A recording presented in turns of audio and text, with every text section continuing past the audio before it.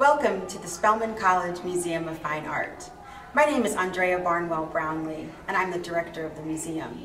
It's a privilege to welcome you to this mini tour of Undercover, Performing and Transforming Black Female Identities. This exhibition was made possible by the Fulton County Arts Council, and we're glad you're here.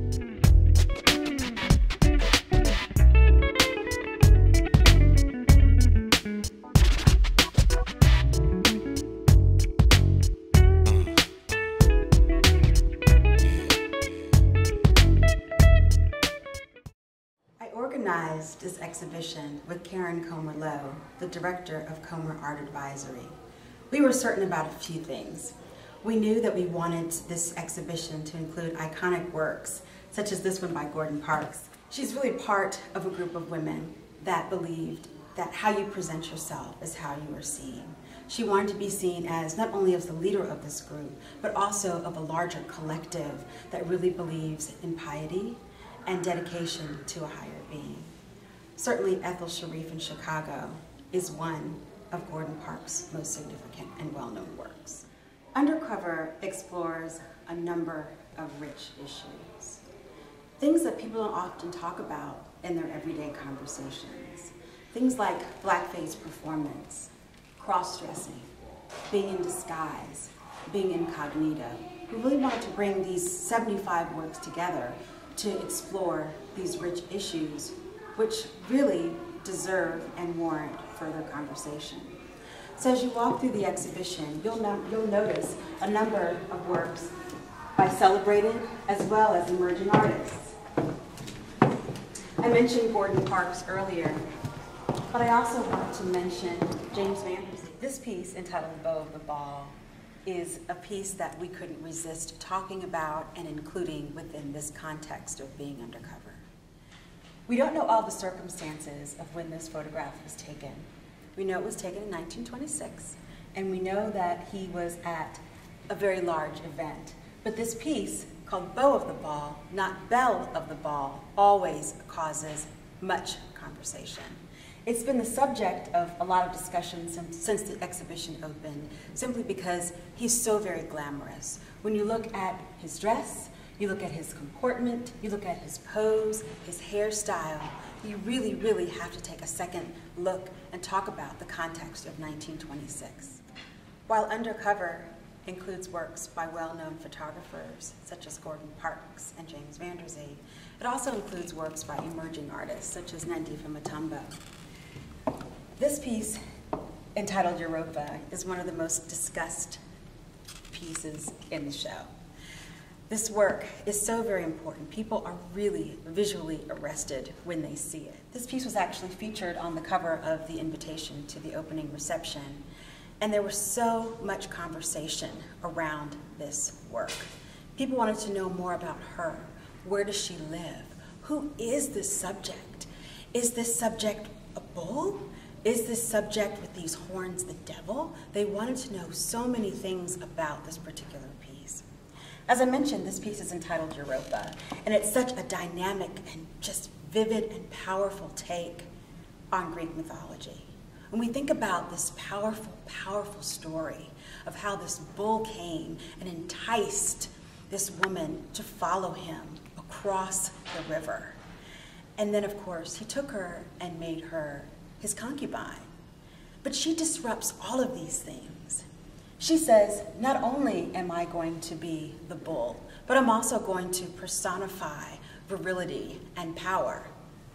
And while I'm at it, I'll go ahead and disrupt issues of gender as well. So here we have this wonderful young emerging artist who's so celebrated in South Africa and so very, very creative and important. And she disrupts this fable and turns it on this ear. I'm standing in front of a very important piece by Ellen Gallagher entitled Deluxe. As you can see, this piece is so very dynamic. All 60 panels feature something really rich and exciting. The textures in each of the individual panels is dynamic and so very important. This piece really explores issues of, of beauty. It explores issues of skin complexion, gender, wigs, race, So many things are jam-packed in this one exciting portfolio piece. We were so delighted when the Jordan Schnitzer Family Foundation agreed to allow us to borrow this piece for this show. Ellen Gallagher is somebody that is just simply talked about on a regular basis and is so very important to the art world. When you get close to this piece, when you see it in person, you can see the rich textures that are part of each and every piece. This exhibition includes a number of different types of work, from video and sculpture to painting and photography to works on paper. You know, it really, really does include a number of examples of works that examine this idea of going undercover. And certainly all the ideas are not traditional ideas. We wanted to include works by this artist, for example, Etienne de Maupassant.